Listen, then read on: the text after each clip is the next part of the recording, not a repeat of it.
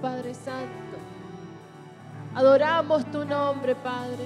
Toma tu lugar, Espíritu Santo.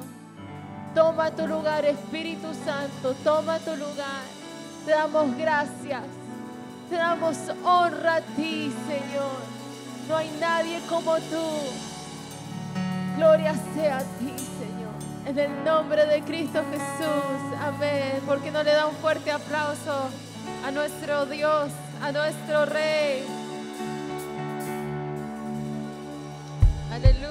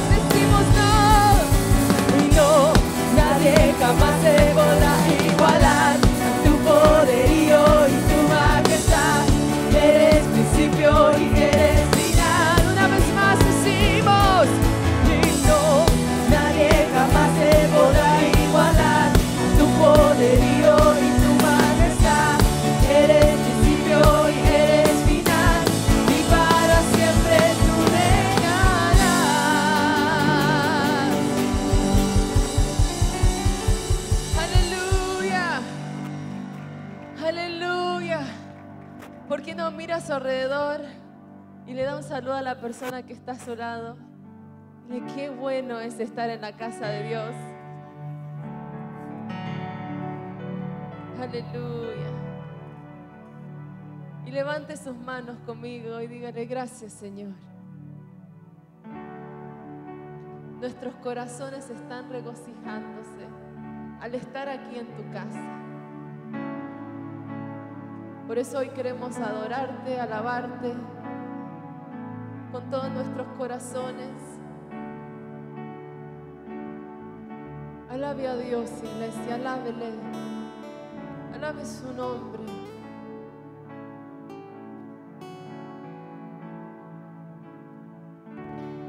Fuiste el verbo en el principio.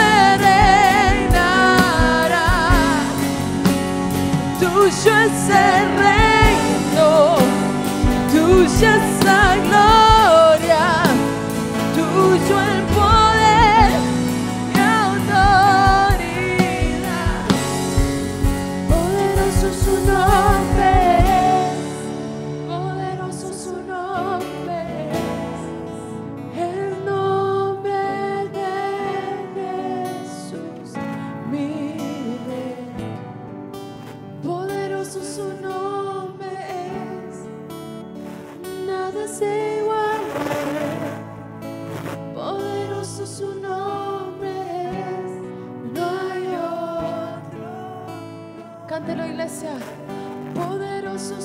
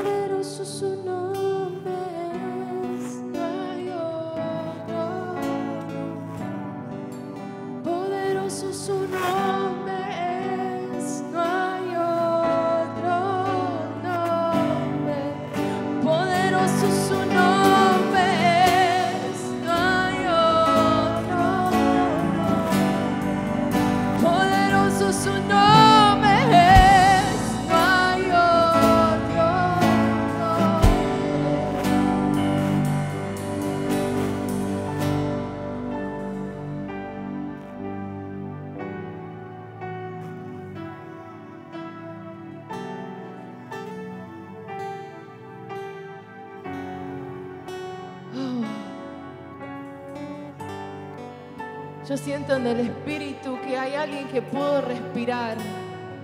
Y al declarar eso, que poderoso su nombre es.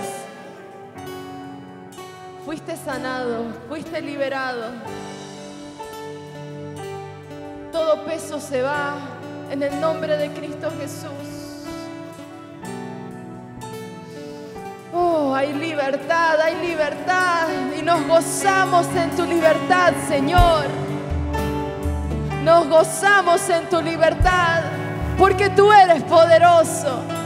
Tú eres poderoso. Tú eres poderoso, Rey. Aleluya.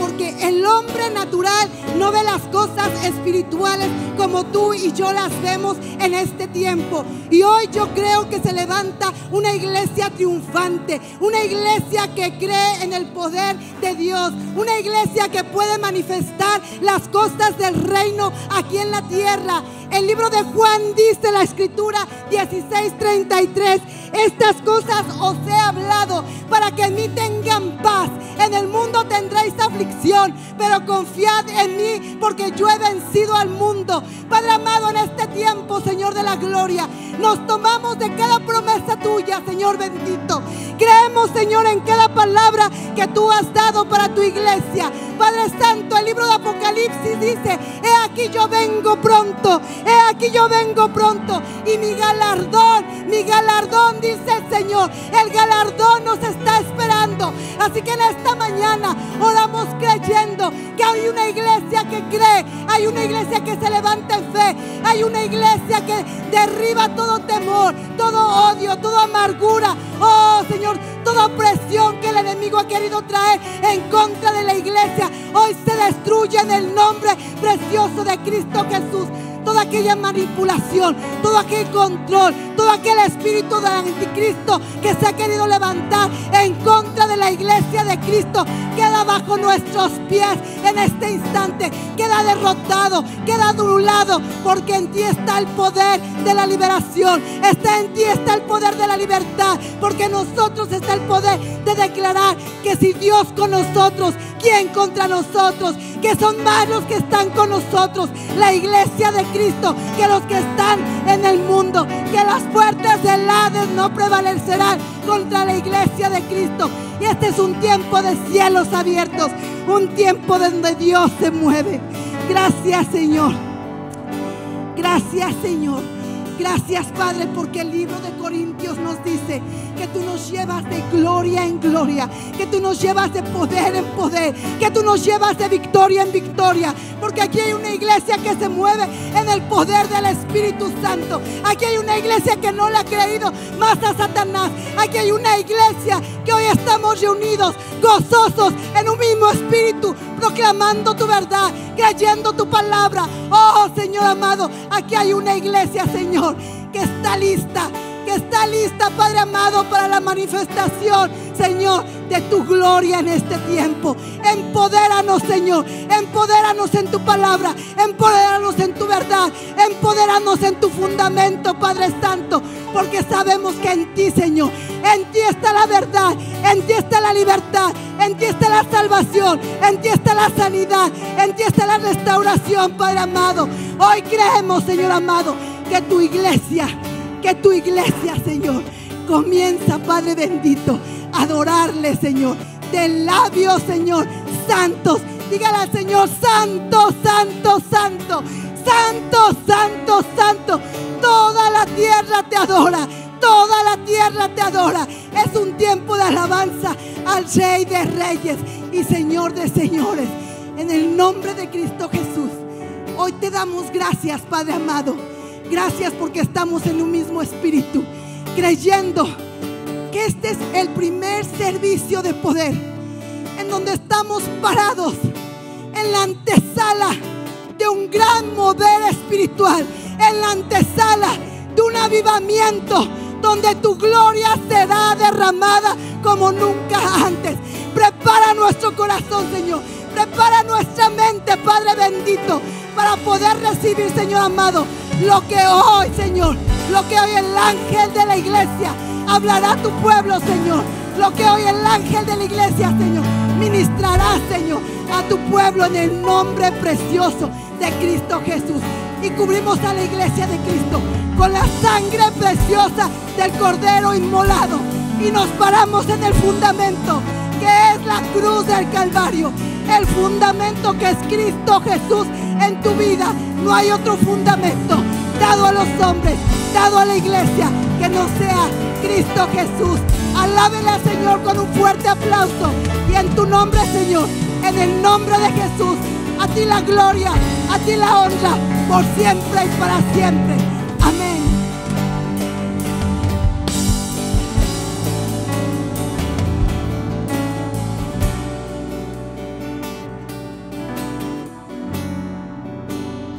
Poderoso su nombre es, poderoso su nombre es, el nombre de Jesús, mi rey. Poderoso su nombre es, nada se iguala a él.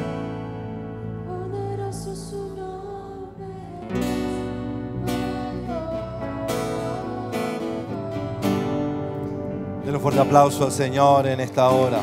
Gloria a Dios.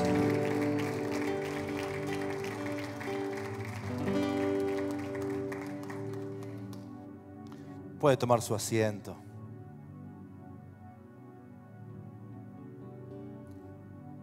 ¿Qué le parece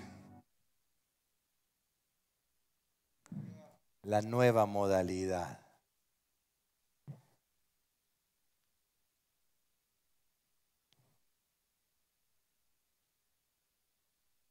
Te quieren tapar la boca, iglesia. Quieren tapar la boca, iglesia. Pero no van a poder tapar nuestro corazón. ¿Alguien puede decir gloria a Dios? ¿Alguien puede decir aleluya? Gracias, hermano, por venir.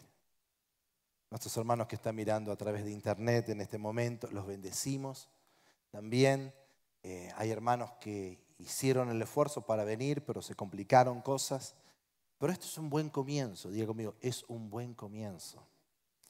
Vio que hay cuerdas por algunos lugares. Las cuerditas estas son para que tengamos el distanciamiento social, ¿ok? Ah, y podamos cuidarnos. Eh, usted se ha asignado un número, un, asiento acorde al texto que usted ha mandado y bueno, ahí, lo hemos eh, hecho sentar. Eh, no se me enoje si le cambiamos de asiento. La semana que viene puede hacer todo al revés. ¿Ok? ¿O quieren volver al parking lot? ¿No quieren volver al parking? lot? Podemos volver al parking Si no les gusta, volvemos al parking lot. Está lindo así con aire acondicionado, ¿no?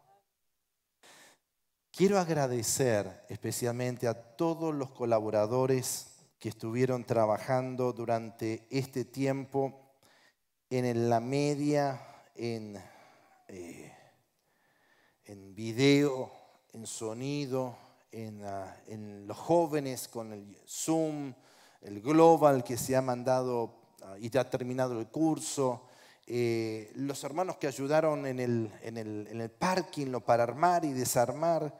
¿Qué le parece si le damos un fuerte aplauso al Señor? Gloria al Señor. El Señor es bueno. Y comenzamos un nuevo tiempo. Recuerde que la visión es predicar el Evangelio para ganar personas para Jesucristo. ¿Cuál es? Formar discípulos para enviarlos a predicar a fin de transformar la ciudad, nación, el mundo con el mensaje del Evangelio y esto es avivamiento. Y si estamos orando, algo grande está concediendo. Y con Dios nunca se pierde, siempre se gana. Amén. Recuerden, no tenemos la reunión de los Children Church todavía, la nursery todavía está cerrada, ya se va a abrir, no se haga problema, ya se va a abrir. Por eso los cultos son comprimidos, los estamos haciendo más cortitos, para que usted pueda disfrutar con sus niños, que no se inquieten tanto y usted pueda también participar de este tiempo. Amén. Es tiempo de un gran despertar, diga conmigo, es un tiempo de gran despertar, de una nueva temporada de autoridad, un año de transformación. Amén. De cobrar ánimo. Mira a la persona que está al lado tuyo, diga, te veo bonito, chulo con la máscara esa. Pensar que hace cuatro meses atrás usted entraba al banco con eso, decían, no tiene que sacarse eso. Y ahora todo cambió. Tiempo de nuevos comienzos y aperturas, de mucho trabajo. Viene un derramar de entendimiento y un tiempo de tomar riesgos, año de tomar riesgos. Mire a la persona que está al lado tuyo, dígale, tú estás tomando un riesgo aquí. Por eso le controlaron la temperatura, por eso lo- tenemos todo el protocolo, porque hay un riesgo. Cuando usted sale a la calle hay un riesgo. ¿Ok? Y el venir a la casa del Señor, qué maravilloso, porque si nosotros tomamos un riesgo para venir a la casa del Señor y honramos la presencia de Dios, Dios va a ser el que te va a sanar, bendecir, curar, cuidar, prosperar. Alguien diga gloria al Señor en esta hora.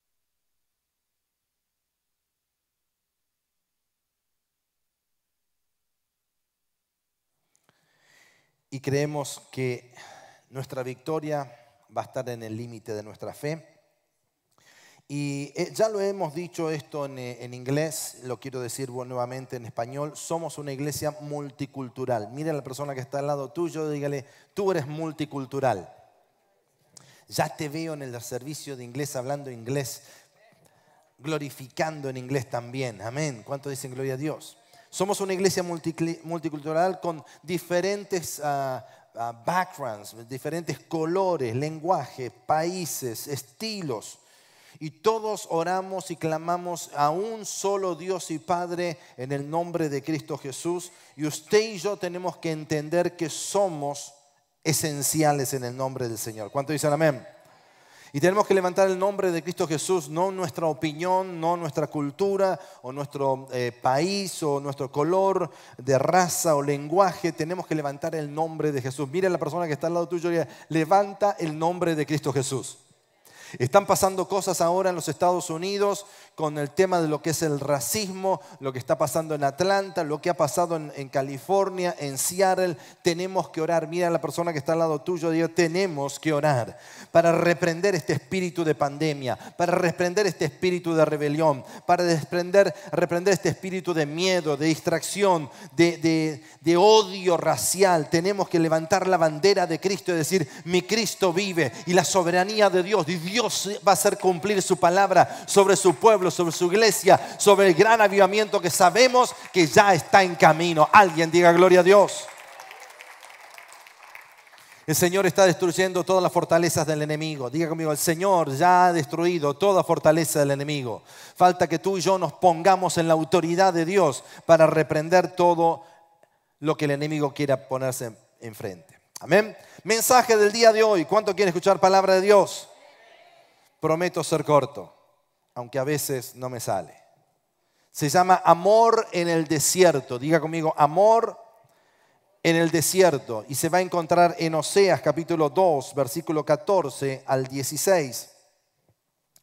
Es un versículo muy conocido, es un versículo que ha impactado mi corazón y que quiero en esta hora traerlo en el nombre del Padre, del Hijo, del Espíritu Santo. Dice de esta manera, por tanto voy a seducirla, llevarla al desierto y hablaré al corazón. Allí le daré sus viñas y el valle de Acor por puerta de esperanza, y allí cantará como en los días de su juventud, como en el día en que subió de la tierra de Egipto. Sucederá que aquel día, declara el Señor, que me llamarás Ishi, esposo mío, y no me llamarás más Bali, Señor mío. Cierre sus ojos. Levante una de sus manos y diga, gracias Señor, porque tú estás en control de todas las cosas. Podemos confiar en ti, podemos confiar en ti. Señor, tomamos autoridad y hemos reprendido todo espíritu de pandemia, de virus, Señor, de miedo. Señor, hoy venimos declarando la soberanía de Cristo sobre nuestras vidas. Declaramos que la sangre del Señor en esta hora nos cubre, nos guarda, nos cuida, nos protege, Señor. Declaramos en esta hora que tu, iglesia se levanta con poder, Señor, declarando palabra, creyéndote a ti, Señor. Padre, en el nombre de Cristo Jesús hemos declarado, Señor, tiempo de lo sobrenatural, tiempo de milagros, tiempo de abundancia, tiempo de la gran cosecha, tiempo de la soberanía del Espíritu Santo, donde Él hace y como Él quiere, le permitimos que Él haga. Padre, en esta hora encomendamos nuestras vidas en tus manos, nuestros corazones, y que esta palabra sea una semilla de corrección a nuestro corazón. En el nombre de Cristo Jesús. Amén y amén y amén. Denle un fuerte aplauso al Señor en esta hora. El lenguaje, la dinámica del libro de Oseas va en torno a lo que es el amor de Dios. Se centra en el perdón inmerecido de esta mujer que era la mujer de Oseas. Dios le, le, le, habla a Oseas que se case con una mujer que más adelante, después de darle hijos y tener una familia establecida, vuelve y le es infiel al profeta, entra en un estado de prostitución. Y esta, este libro nos habla de la misericordia de Dios, de cómo Dios una vez más, después de haber, como se llama, después de esa esposa haberse eh, prostituido y malgastado toda su vida con otras personas, el profeta dice, Dios, tienes que volverla a amarla, tienes que volver a amar, porque este es el mensaje para el pueblo de Israel. Y yo creo muy firmemente que también es el mensaje para el pueblo de Dios en el día de hoy alguien diga gloria a Dios. Dios le ordena a este profeta casarse con una mujer. Esta mujer le sería infiel, el mensaje de infidelidad se repite a través del libro una y otra vez. Y cuando usted llega al, capítulo 2, lo que hemos leído recién, Dios le ordena al profeta perdonar a su esposa. Yo no sé cuántos de ustedes han pasado por el proceso de lo que es la infidelidad dentro del matrimonio, dentro de lo que es el ministerio, dentro de lo que es la amistad, la traición que se encuentra cuando una persona de repente eh, tiene infidelidad. Nadie de nosotros, conociéndolo, queremos tener una, una, una esposa, un esposo que nos sea infiel.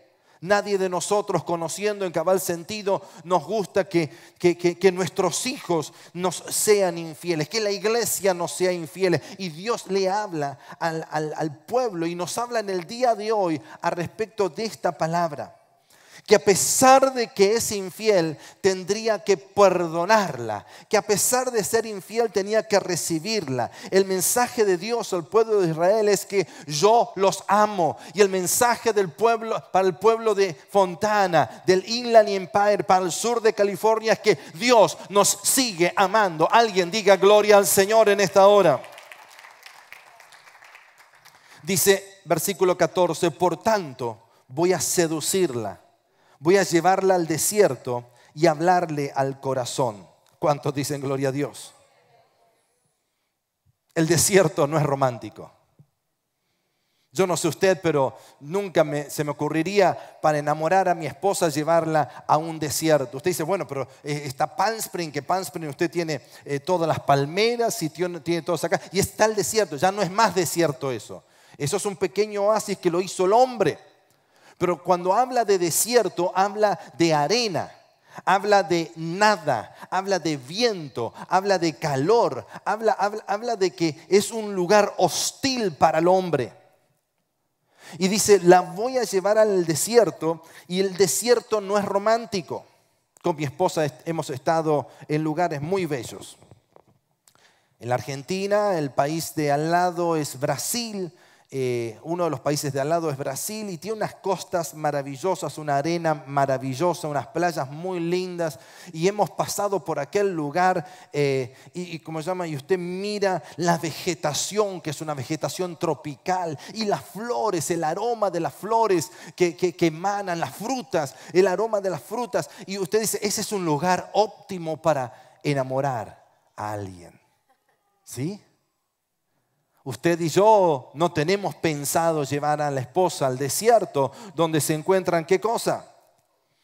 Se encuentra todo seco.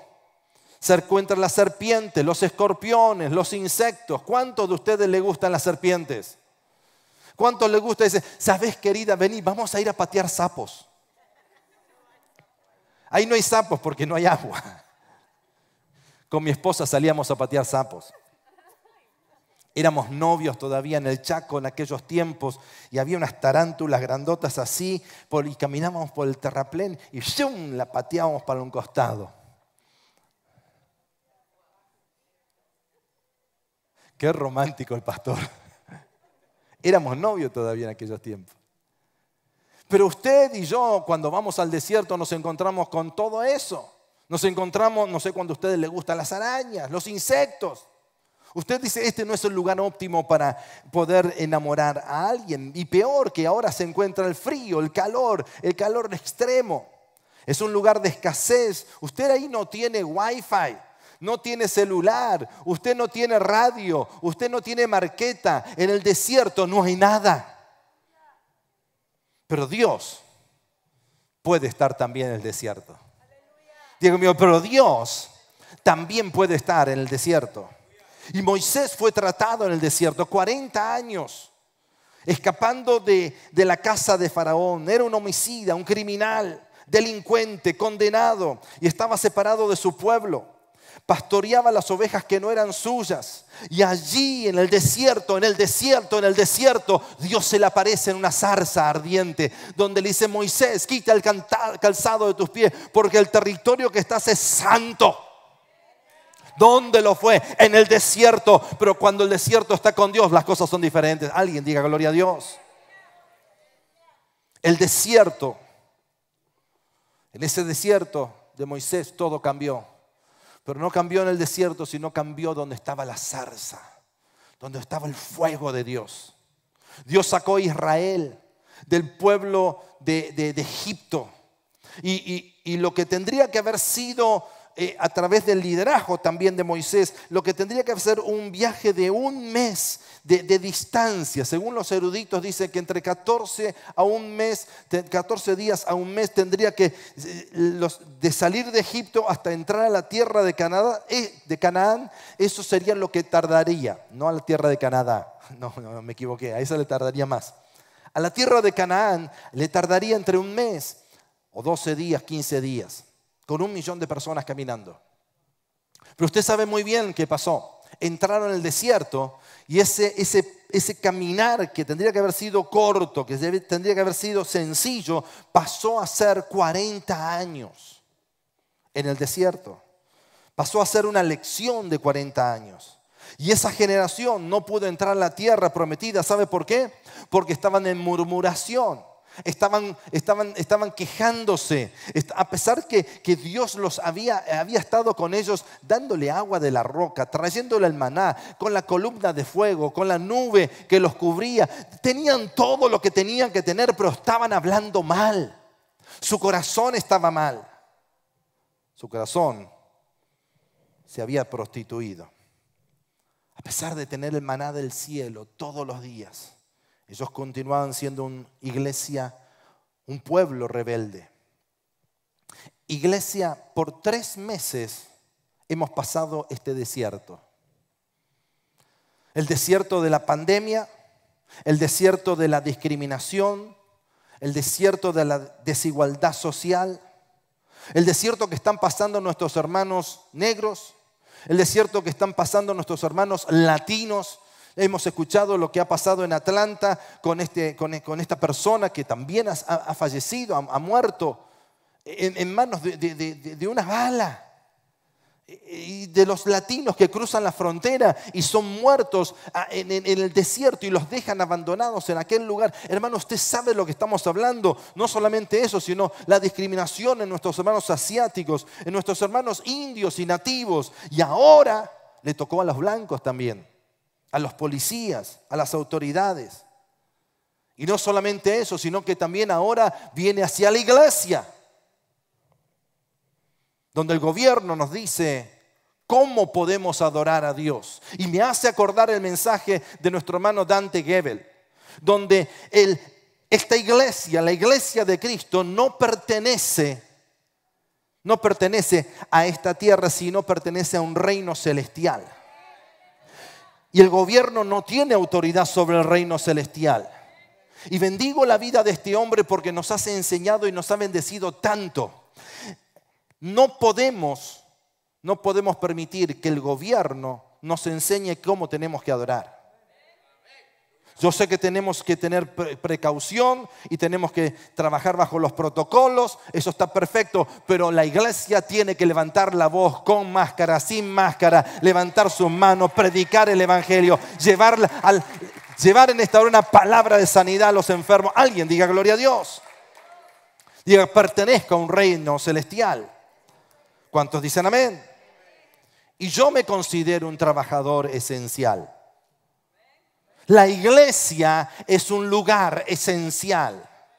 Por supuesto, hay lugares donde la iglesia se abre solamente los domingos, no en esta iglesia.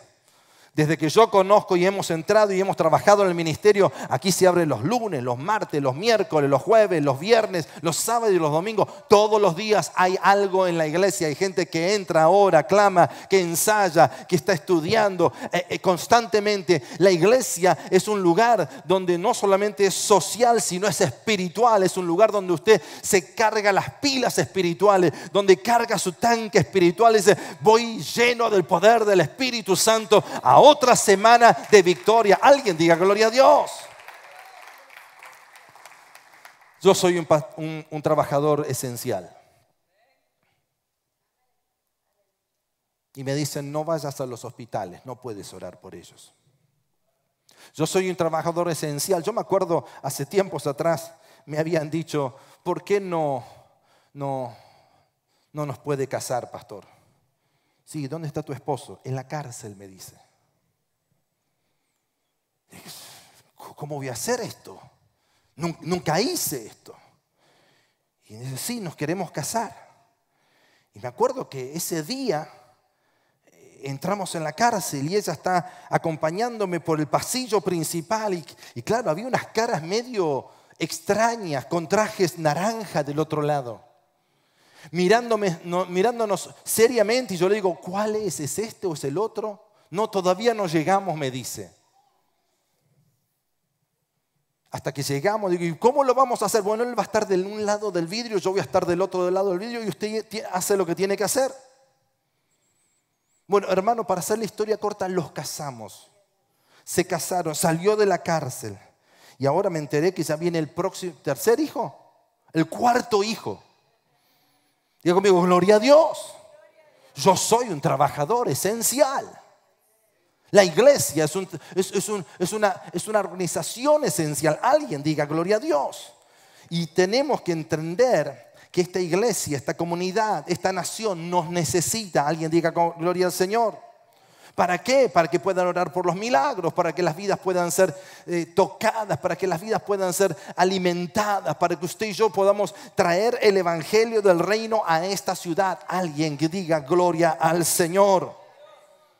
No dejes que el enemigo tome ventaja. Mira a la persona que está al lado tuyo y diga, no dejes que el enemigo tome ventaja. Segunda Corintios capítulo 2, versículo 11. Para que Satanás no tome ventaja sobre nosotros, pues no ignoramos sus planes. Cuando usted se pone a pensar lo que está aconteciendo con lo que es la pandemia, cómo llegó a lugares que uno dice, ¿cómo llegó? En medio del Amazonas, tribus que, que, no tienen contacto con nadie, ya están infectadas con el COVID. No podemos saber cómo llegó eso. Pero acá hay, un, acá hay un, un principado y un principado lo que hace es cambiar la mente, cambiar los principios. Y el principado satánico está tratando de cambiar la manera como tú te empiezas a pensar. ¿Para qué? Para cambiar tu modo de vida. Te empieza a controlar y cuando te controla te dice, ya no puedes, ya no puedes adorar, ya no puedes levantar la mano. Ya dentro de poco te van a decir, no puedes venir a la iglesia. Es una persecución sobre la iglesia, es una persecución sobre la raza humana. Y usted dice, ¿y cómo será esto del 666? ¿Le pondrán un chip? ¿No le pondrán un chip? Mire hermano, yo no sé cómo va a ser, pero estamos muy cerca de ese momento. Y si estamos cerca de ese momento, estamos cerca de la venida de nuestro Señor Jesucristo. Alguien diga gloria al Señor. Por eso la iglesia más que nunca tiene que decir, ven Señor Jesús. Alguien diga amén en esta hora. Diga conmigo infidelidad. Infidelidad es cuando prestas atención en otra persona. Si estás casado, digamos si es hombre, y está mirando una mujer, puede ser agradable, puede que tus ojos no estén contaminados, pero para, el que está sucio, todo es sucio, para el que está limpio, todo es limpio. Pero para el hombre que a lo mejor su corazón no está limpio, está mirando y está mirando con un deseo.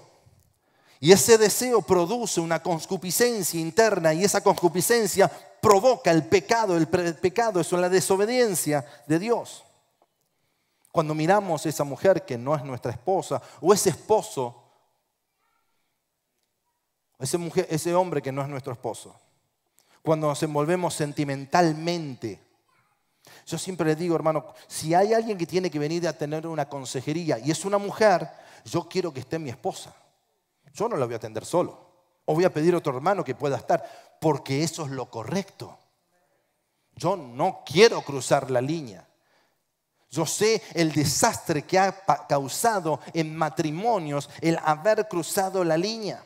Cuando jugamos en el territorio enemigo, Jesús dijo, pero yo les digo, todo el que mire una mujer, Mateo capítulo 5, versículo 28, todo el que mire una mujer para codiciarla ya cometió adulterio con ella en su corazón. ¡Wow! El Señor dijo, no es cuando ya te acostaste, no es cuando ya consumaste el hecho. No, no, no. Esto es mucho antes. Cuando ya miraste con tus ojos, ahí donde creció el, el pecado y ahí creció la infidelidad. Y ya has adulterado, ya has fornicado. Es poner nuestra mirada en alguien que no es nuestra esposa, en alguien que no es nuestro esposo. Pero no solamente eso, sino también puede ser un, una cosa, puede ser un auto. Entras en el parking y dices, ay, mira qué lindo auto que tienen los hermanos. Se compraron, yo también lo quiero. Pero no un, deseo normal. Por eso, para el que es limpio, todo es limpio. Para el que está sucio, todo es sucio. Entonces viene unas ganas de, de codiciar eso. Y eso está mal. Pero también acontece con las filosofías del mundo. Cuando tomas una filosofía del mundo que la atrapas y dices, ay, qué lindo pensamiento, como piensa el mundo en este momento, y te estás prostituyendo con esas cosas. Y cuando de repente no solamente te prostituyes con una filosofía, sino con una opinión de una persona, cuando sabes que la opinión no importa, lo que importa es cómo Dios opina y cómo está escrito en su palabra, y punto. Alguien diga gloria a Dios. Y la infidelidad a Dios es cuando ponemos otras cosas antes de Dios. Por muy importante que puedan llegar a ser. Puedes decir, mi familia es muy importante. Por supuesto que lo es, pero Dios es más importante.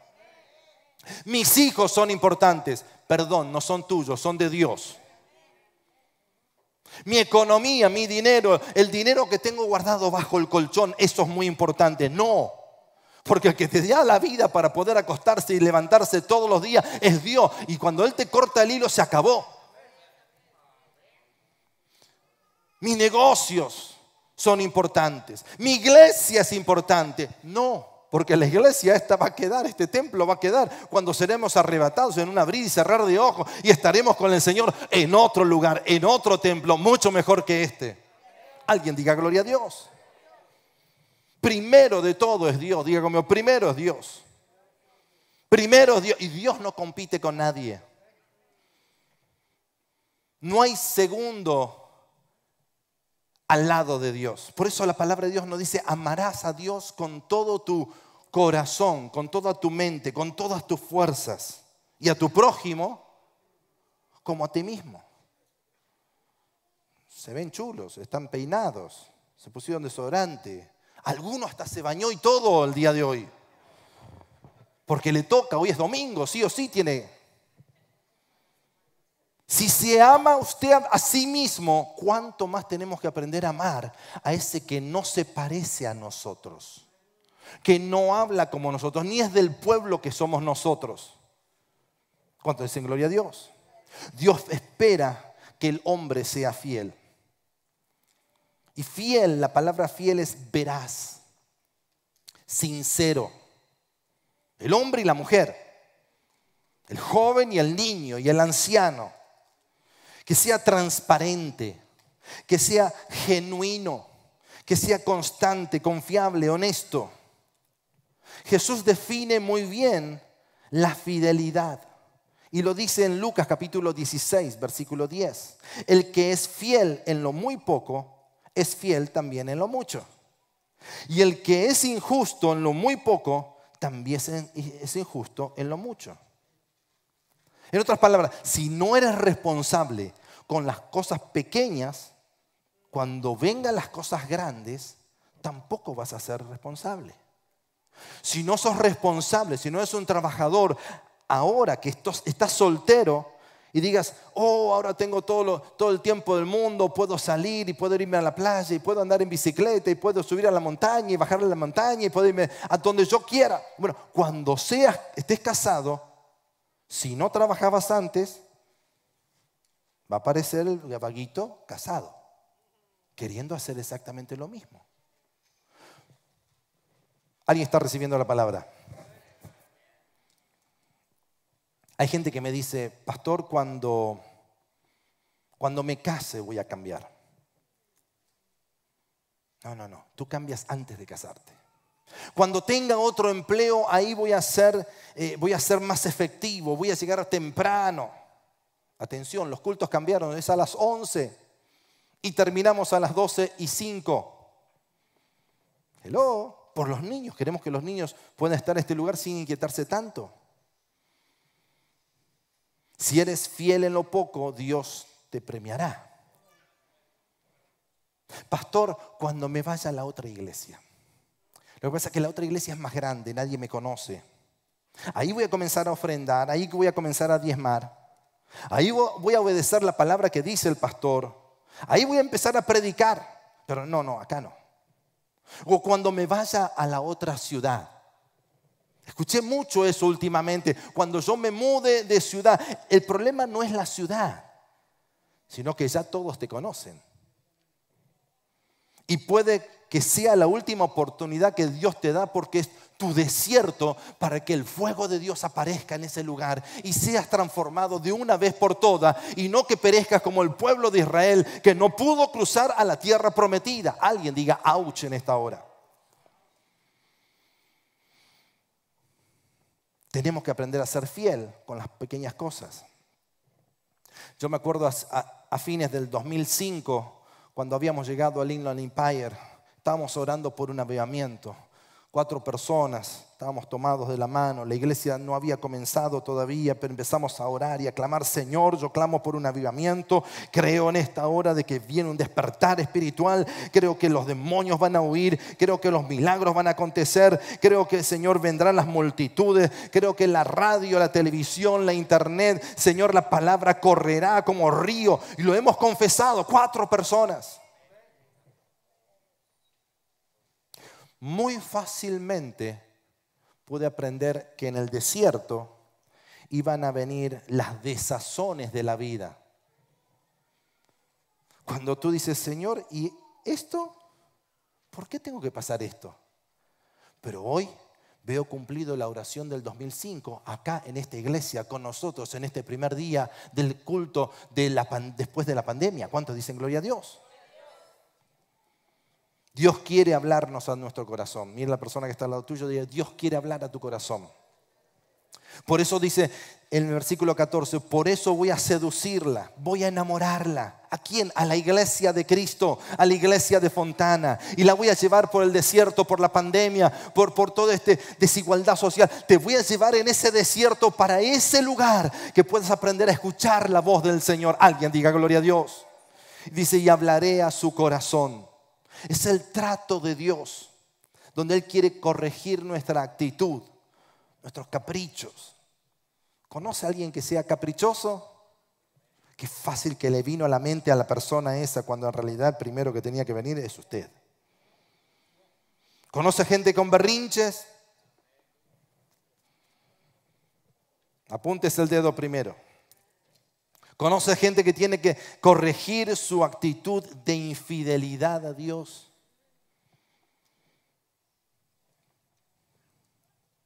Tres meses de cuarentena. Tiene que alcanzarnos para que la iglesia de una vez por todas le pueda decir, sí Señor, tú eres mi amado. No solo mi Señor, yo confío en ti. Yo me arrepiento. Tú me perdonas y tú me restauras. Tres meses tiene que habernos alcanzado para llegar en el día de hoy, el primer culto aquí en la iglesia de Fontana en español para decirle, Señor, ya está. Es el lugar de encuentro de la llama, del fuego, donde voy a ser cambiado, transformado. No me voy a quejar más, no, me voy a, voy a poner mi vista en nadie más, sino solamente en Cristo Jesús. Porque en el mundo no vas a encontrar solución. La justicia del mundo no sirve, pero la justicia de Dios sí sirve. Yo puedo pelear todo lo que quiera pelear y puedo lograr pequeñas cosas, pero el, problema verdadero de la sociedad no es la desigualdad, sino el problema verdadero es el pecado. Así como el, pastor Tony nos estaba hablando el domingo pasado, cuando un, doctor mira una, una patología, un paciente, dice, ok, estos son los resultados, yo veo fiebre, yo veo inflación, inflamación, yo veo una carie, yo estoy mirando los resultados de algo que está pasando, que es mucho más profundo. Y cuando vemos la sociedad y vemos los resultados de lo que está pasando, de la infidelidad que está pasando frente a Dios, el problema no es ese, el problema es mucho más profundo. El problema es la prostitución. El problema es haberse apartado de Dios. El problema es que ya no le damos al Señor la importancia que tiene que ser.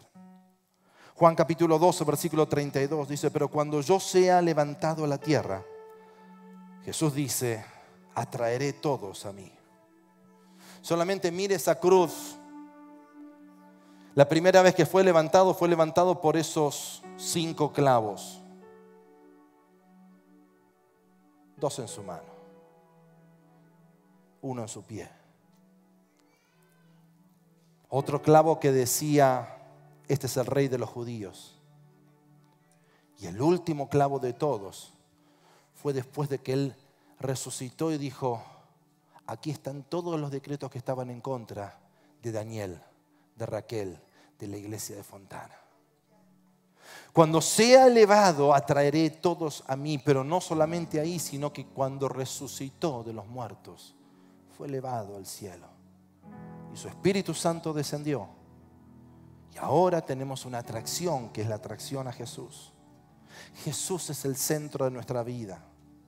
No es la pandemia, no es el COVID-19, tampoco es la discriminación, ni la desigualdad social. El centro de mi vida es Jesús. Oseas capítulo 2, versículo 14, por tanto voy a seducir a la iglesia de Fontana la voy a llevar al desierto y hablaré al corazón. Y allí le daré sus viñas en el valle de Acor por la puerta de esperanza. Y allí cantará como en los días de su juventud, como en el día en que subió de la tierra de Egipto. Iglesia, nuestra prosperidad no tiene nada que ver con la bolsa de comercio, ni con los ni con el recurso que el, gobierno nos da de los cheques. no, esa no es la prosperidad. La prosperidad viene en medio del desierto cuando Dios te bendice de una manera inexplicable. Esa es la prosperidad de Dios. Y yo lo he experimentado en tiempos de pandemia, en tiempos de sequedad, en tiempos donde las vacas estaban flacas. Nunca nos ha faltado nada porque Dios nos ha enamorado. Me he enamorado del Señor. Con mi esposa nos hemos enamorado de su presencia y Dios ha sido fiel. Dios ha sido fiel. Él no falla su palabra. Alguien diga gloria a Dios. La palabra viña simboliza prosperidad. Simboliza gozo, abundancia. Versículo 16 dice, sucederá que en aquel día, declara el Señor, que me llamarán Ishi, esposo mío, y no me llamarán más Bali, mi Señor. Póngase de pie. ¿Sabe que usted y yo todos hemos fallado? Y a pesar de fallar, Dios tiene misericordia. Segunda Timoteo capítulo 2 versículo 13 dice, si somos infieles, Él permanece fiel, pues Él no puede negar quién Él es. Es tu decisión estar un año más un mes más, un día más en el desierto, sin haber encontrado la llama, sin haber encontrado el fuego, sin haber encontrado lo que va a cambiar determinadamente tu vida, así como lo hizo en la vida de Moisés. o puedes estar 40 años. 40 años de pandemia, 40 años de agresión, de discriminación, 40 años donde tu vida sea toda la rutina de lo mismo, quejándote de lo mismo y haciendo lo mismo. Es tiempo de ir al fuego del Señor. Es tiempo de ir a la llama del poder del Espíritu Santo. Es tiempo de decir, Señor, ya está. Tú eres mi amado. Yo te amo, te bendigo, te hago, Señor, en esta hora el amor de mi vida. Levante sus manos al cielo en esta hora. Padre, en el nombre de Cristo Jesús. Clamamos, Señor, para que este desierto se termine en el día de hoy. Hablo a la pandemia, Señor. Hablo a discriminación. Hablo, Señor, en esta hora que la iglesia se levante. Que la iglesia se levante, eh, Señor, en fe, en gracia, en unción, Señor. Que se levante en el amor verdadero, Señor. En el amor no discriminativo, sino en el amor verdadero a aquellas personas, Señor, que son diferentes a nosotros, Señor. Aprender a ser la iglesia que tú nos has dispuesto a hacer. Padre, en el nombre de Cristo Jesús, en esta hora me vuelvo contra toda acechanza del enemigo, todo espíritu de enfermedad, todo espíritu demoníaco, todo espíritu de muerte. En esta hora sea atado, reprendido, echado afuera. Declaro, mi Dios, en el nombre de Cristo Jesús, que se abren los cielos, se abren las compuertas, la gloria de Dios desciende en esta hora y nuestro desierto pasa a ser un oasis. Nuestro desierto pasa a ser el lugar de encuentro sobrenatural. Nuestro oasis pasa a ser el lugar de amores. Nuestro desierto, Señor, pasa a ser el lugar donde nos enamoramos más y más de ti. Señor, enamóranos, enamóranos, enamóranos, Señor, de ti. Cada día más y más y más, Señor. El Señor está esperando un cambio de actitud que va a repercutir en tu tierra. Cuando saques tu enojo, cuando saques tu ira, cuando saques los odios, cuando cambies la actitud y empiezas a alegrarte, Dios cambiará los resultados que van a producir la prosperidad en tu tierra. Todo empezará a prosperar. Tu alegría tendrá resultado de sanidad. Para Dios, el desierto es el lugar de entrenamiento, donde despiertas el hambre del fuego de Dios. El desierto es el instituto de gran enseñanza en lugar para hablar al corazón, porque no te puedes distraer con nadie más.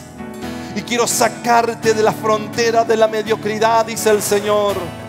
La mediocridad de que no sabes quién eres, no tienes identidad. Que no sabes para dónde vas, que no tienes dirección. Y que no sabes qué hacer. Significa propósito. Jesús quiere levantarte a una dimensión de gloria tú y yo estamos pasando por un proceso de amor. No hay sombra que no alumbres para encontrarme a mí. No hay pared que no derrumbes, cadena que no rompas para encontrarme a mí. No hay sombra que no alumbres, monte que no escales para encontrarme a mí. No hay pared que no derrumbes, cadena que no rompas para encontrarme a mí. No hay sombra que no monte que no escales para encontrarme a mí. No hay pared que no derrumbes, cadena que no rompas para encontrarme a mí. Oh, tu amor me envuelve, me sostiene, amor sin condición.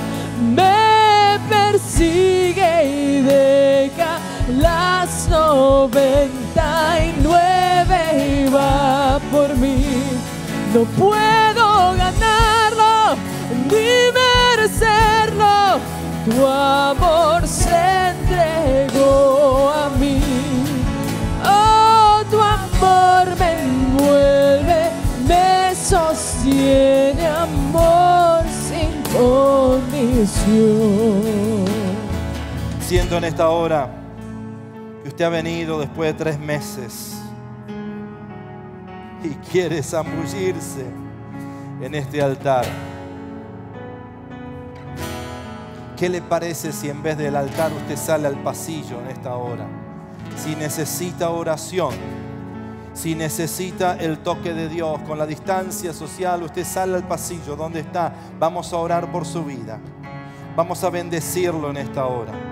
Vamos a creer en esta hora en milagros. Si a lo mejor ha venido enfermo, tiene alguien en esta hora que está en enfermedad, usted sale al pasillo y está levantando su mano diciéndole, yo necesito oración, yo necesito que tú hagas una obra grande en mi vida en esta hora.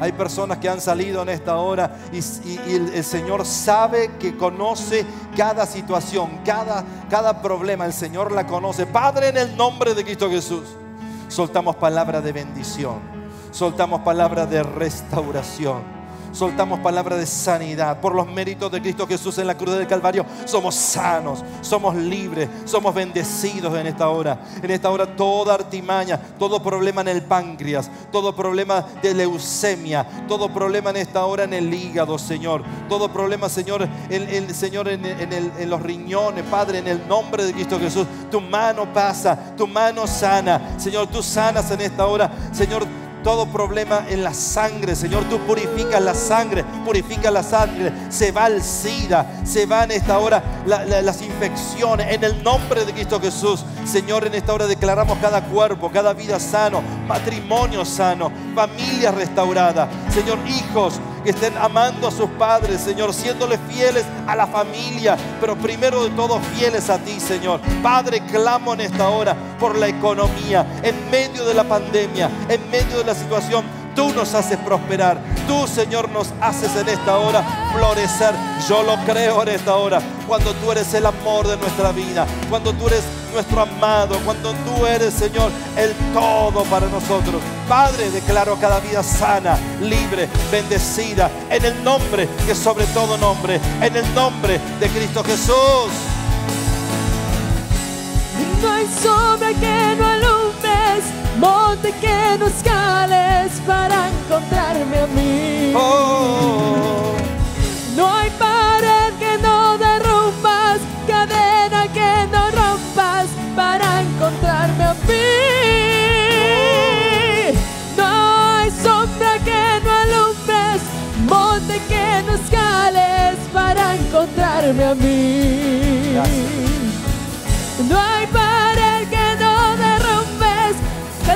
que no rompas para encontrarme a mí.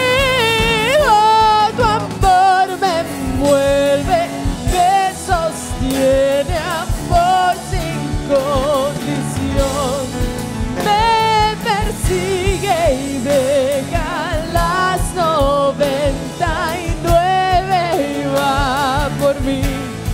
No puedo ganarlo ni merecerlo. Tu amor se entregó por mí. Tu amor me envuelve, me sostiene, amor sin condición. Tu amor me envuelve, me sostiene, amor sin condición me persigue,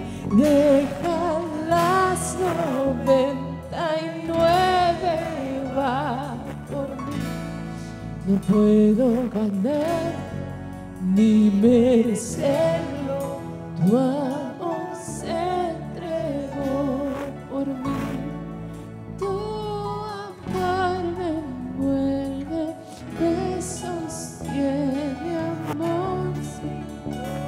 Cierra tus ojos. Señor te dice, vuelve a tu primer amor. Vuelve a tu primer amor. Vuelve a tu primer amor. Cuando había horas en las cuales pasabas de rodillas buscando la presencia del Señor. Vuelve. Mira de dónde has caído, vuelve a tu primer amor. Hiciste muchas cosas bien, pero hoy el Señor te dice, vuelve, vuelve, vuelve, vuelve. Él te ama, te restaura. Hay lazos de perdón. Yo sé que estás avergonzado. Yo sé que de repente hay muchas cosas que vienen a tu vida. Y te dicen, no merezco el amor de Dios. Claro que no. El amor de Dios es inmerecido. Es el amor perfecto. Es el amor que restaura. Es el amor que sana. Es el amor que liberta. Es el amor que te llena. Vuelve. Vuelve, vuelve, vuelve. No hay pared que no derrumbas, cadena que no rompas para encontrarme a mí. No hay sombra que no alumbres,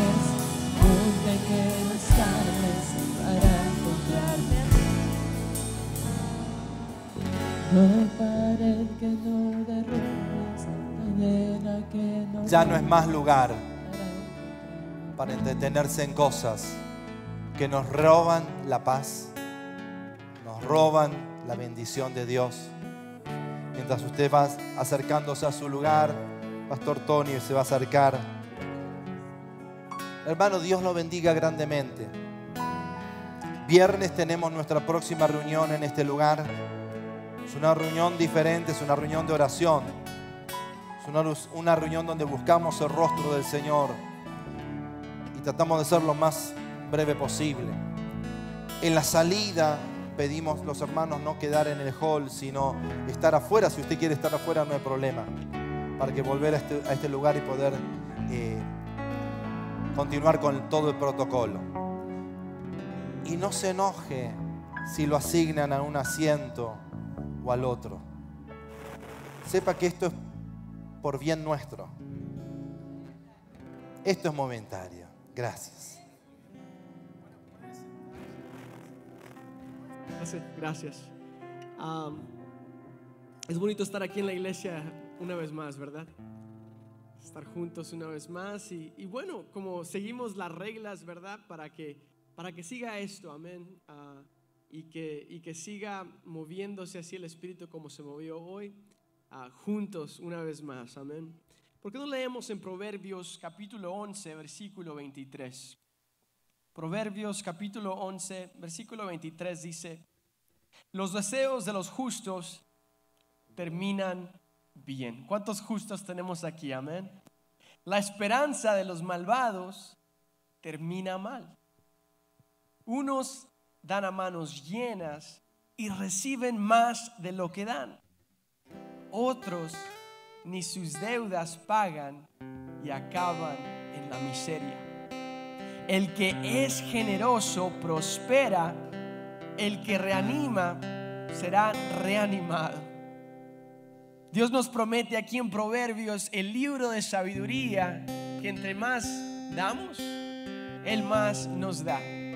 Entre más damos palabras refrescantes a nuestra iglesia aquí al lado, a sus vecinos, a sus amigos, a su familia, más nos refresca Él a nosotros.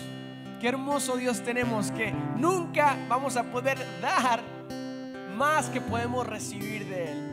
No solo estoy hablando de dinero, no solo estoy hablando de cosas materiales, aunque lo promete. Estoy hablando también de lo bonito que es estar juntos en familia una vez más. Aunque no podamos abrazarnos y saludarnos, una sonrisa, un Dios te bendiga, un qué bueno que puedo verte una vez más aquí en la iglesia, refresca el corazón de tu hermano, igualmente Dios refrescará tu corazón también. Somos bendecidos hermanos de que Dios ha abierto las puertas de la iglesia esencial. Ah, espero que estas puertas sigan abriendo cada domingo, cada viernes, cada miércoles por años y años más. Espero que Dios siga abriendo también bendiciones para su vida. Mientras que usted siga bendiciendo la iglesia, bendiciendo al pobre, bendiciendo a la viuda, bendiciendo a los huérfanos, que siga Dios proveyendo para cada de sus necesidades. Ah, mientras que sale, hermano, vamos a hacer algo diferente con nuestras ofrendas este domingo. Mientras que sale por su pasillo, van a ver ahí a los servidores que están listos para sus ofrendas. ah, quisiera orar en este momento por las ofrendas y también para despedirnos de este servicio. Y ah, también tenemos, si quiere dar ah, de manera digital, tenemos la aplicación Give Plus. Ah, si puede dar también por ahí, también se puede. Bueno, ¿por qué no cerramos nuestros ojos y empezamos a orar en este momento? Gracias, Padre. Gracias, Señor. Gracias por este momento, Padre, que podemos estar juntos, Padre, como iglesia, como hermanos, como familia. Te pido, Padre, que ellos sepan que sus deseos, Señor, que sus deseos siempre saldrán bien, Señor. Siempre terminarán bien, Padre. Que su esperanza esté siempre en ti, Señor. Que cada vez que ellos dan, Señor, de manos llenas, Padre, igual tú llenarás, Padre, sus manos aún más, Señor. Para que sepan que mientras son generosos, Padre, ellos prosperan. Que mientras ellos reaniman a su prójimo, Señor, también ellos son reanimados también. Y yo sé que eso necesitamos en estos tiempos, Padre. Reanimación, revida, Señor. Resplandece, Padre, en nuestras vidas. En el nombre de Cristo Jesús y todos decimos amén, amén y amén. Hermanos, están bendecidos, están despedidos. Dios me los bendiga. Nos vemos la siguiente semana.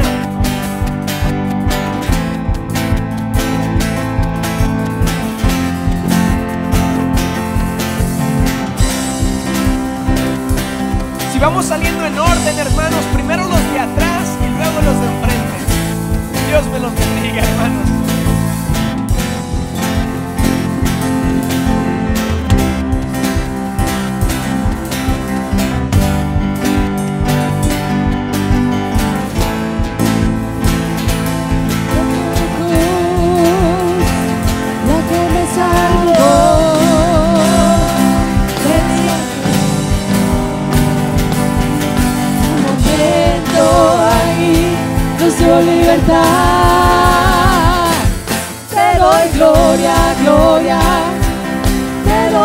Gloria, gloria, te doy gloria, gloria.